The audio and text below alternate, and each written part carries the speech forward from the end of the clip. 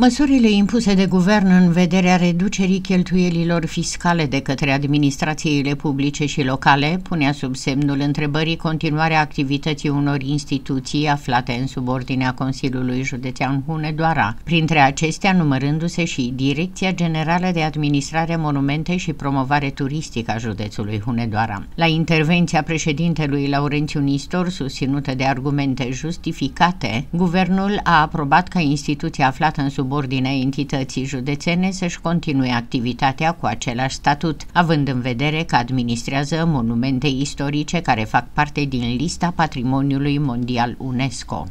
Ne-am uh, îndreptat spre guvern și spre fericirea noastră, aș putea spune, uh, am făcut un memorandum la guvern și a fost aprobat prin care Agenția de Dezvoltare și Promovare Turistică a județului Doara își continuă activitatea ca și agenție și mai mult am uh, solicitat primului ministru că, având în vedere că noi am preluat de la Ministerul Turismului,